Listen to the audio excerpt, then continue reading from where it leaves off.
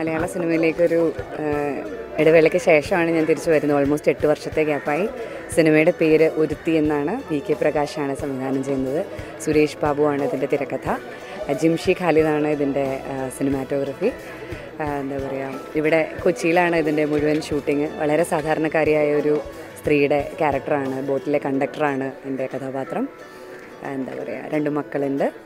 അപ്പോൾ പ്രവാസിയായിട്ടൊരു ഭർത്താവ്. ഇങ്ങനെയൊക്കെയാണ് ക്യാരക്ടർ അവരുടെ ലൈഫിൽ വളരെ സാധാരണ ജീവിതം നയിച്ചുകൊണ്ടിരിക്കുന്ന അവരുടെ ലൈഫിൽ ഒരു മൂന്ന് ദിവസം ഉണ്ടാകുന്ന ഇൻസിഡൻസ് ആണ് സിനിമ.